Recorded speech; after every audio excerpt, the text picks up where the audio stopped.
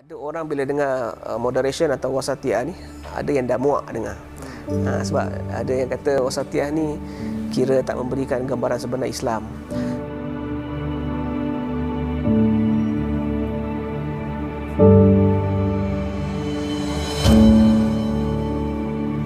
Tapi kita kata bagaimana pula kita nak huraikan ayat dalam Al-Quran yang Allah Taala sendiri sebut kadzalika ja'alnakum ummatan wasatan.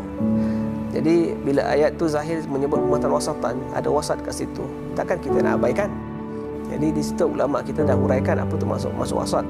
Jadi anda boleh kasih, kasih tiga ciri wasat ni ialah satu uh, adil, adil. Wasat satu lagi ialah uh, kecemerlangan. Yang satu ialah uh, pertengahan. Tapi ramai orang memandang kepada wasat tu pertengahan. Maknanya 50-50. Tak kes, kalau 50-50 dah mau cakap jadi macam munafik pula. La ha ilaha ula wa la ha ilaha ilaha ula. Tak boleh lah. Jadi kita mesti faham wasatiyah tu dengan semua ciri yang ada. Ciri adil, ciri yang terbaik, eh, ahsan, afdal dengan ciri uh, maknanya kita pertimbangkan dengan sewajarnya, sebaiknya. Check and balance lah.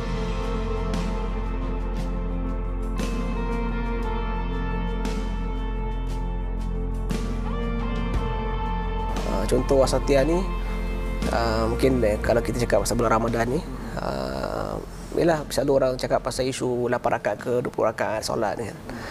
Uh, sebenarnya dua-dua tu adalah baik. Uh, memang ada orang uh, solat boleh solat sampai 100 rakaat satu malam Ramadan masya-Allah. Dia tak ada masalah pun. Macam contoh golongan ulama kita kan. Uh, mereka dah biasa macam itu.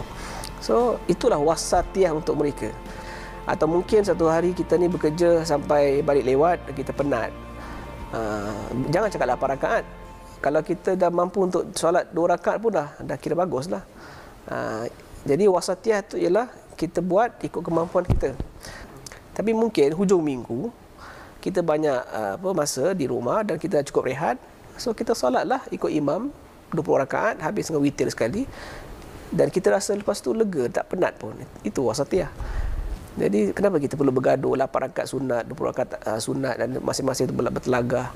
Uh, sebab benda uh, isu soal apa nama ni tarawih ni uh, memang dibalik kepada kemampuan. Sebab kalau kita balik pada sejarah ulama dulu macam Imam Tirmizi pun ada sebut waktu zaman dia uh, orang buat solat tarawih dengan solat witir sekali sebanyak 49 rakaat. Uh, so uh, saya kira anak kira memang kefaham uh, yang perlu kita tonjolkan wasatiyah ni ialah dari sudut keadilan dia adil. Maknanya kita sebagai umat yang adil dan umat yang cemerlang. Itu yang patut kita tengah ketengahkan lah